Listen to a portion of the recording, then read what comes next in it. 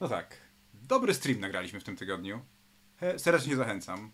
Wejdź ten link, który tam jest napisany, obejrzyj. Myślę, że znajdziesz tam wiele inspiracji na temat programów rozwojowych, coś, co możesz u siebie zastosować ze swoimi pracownikami w swojej organizacji. Natomiast teraz jest jedna minutówka, gdzie opowiem Ci spis treści de facto tego programu, czyli powiem Ci, co było w tym streamie, jeżeli chcesz taką pigułkę informacyjną. Otóż mówimy o programie, który trwa przez miesiąc. Programie, który jest owocem pandemii, czyli jest 100 dni pandemii, dla nas to była okazja, żeby wymyśleć i przetestować na dwóch, kilkunastoosobowych grupach taki program szkoleniowy, który polega na tym, że w tygodniu zerowym robimy analizę potencjału uczestnika tego szkolenia, przekazujemy materiały wiedzowe, formujemy grupę, a potem przez 4 tygodnie, dzień po dniu, codzienny stand-up meeting, dwa razy w tygodniu konsultacje, praca własna, rekomendacje rozwojowe.